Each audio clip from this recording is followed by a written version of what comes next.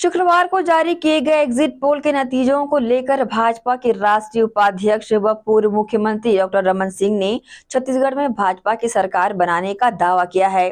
छत्तीसगढ़ के पूर्व मुख्यमंत्री और भाजपा नेता रमन सिंह ने कहा कि भाजपा बावन पचपन सीटों पर बढ़त लेकर सरकार बनाएगी। उन्होंने कांग्रेस पर कटाक्ष करते हुए कहा कि पचहत्तर पार वाले 40 तक पहुँच गए हैं। दो तीन सर्वे में उन्हें 40 तक दिखाया जा रहा है। लेकिन वे पचहत्तर पार कह रहे थे, अब 40 पर आकर रुक गए हैं। तीन तारीख को जो नतीजे आएँगे, उसमें कांग्रेस 40 से भी नीचे जाने वाली है। एग्जिट पोल से स्पष्ट हो चुका है कि भारतीय जनता पार्टी एक लंबी छलांग लगाई है शुरुआती दौर में, और ये रुझान की ओर इंगित करता है। कहाँ पंद्रह सीट से अड़तालीस सीट तक हम जाते हुए दिख रहे हैं, मगर मेरी मान्यता अड़तालीस सीट तक नहीं है। मेरी स्पष्ट मान्यता है कि जो रुझान भारतीय जनता पार्टी के पक्ष में बढ़ता हुआ दिख रहा है, ये जाके बावन और छप्पन, पचपन सीट में जाके रुकेगा और भारतीय जनता पार्टी स्पष्ट बहुमत के साथ सरकार बनाए। अब ऑपरेशन लोटस की बात वही लोग कर रहे हैं जिनके मन में डर और भय है। यदि आपने कुछ गलतियाँ नहीं की तो उसके लिए चिंता करने की ज़रूरत नहीं।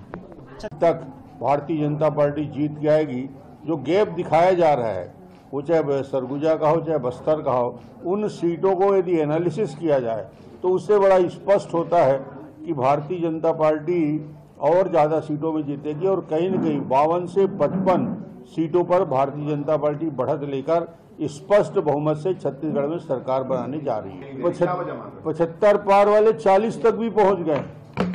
दो तीन सर्वे में जो रिपोर्ट आ रहा था 40 से 50 दिखाने का प्रयास हुआ। यानी 40 तक तो सर्वे की रिपोर्ट में कांग्रेस को आते हुए दिखाया जा रहा है। बयालीस तक आते हुए दिखाया जा रहा है। कहा पचहत्तर पार करने वाले चालीस में आके रुके हुए हैं, ये एग्जिट पोल का नतीजा है।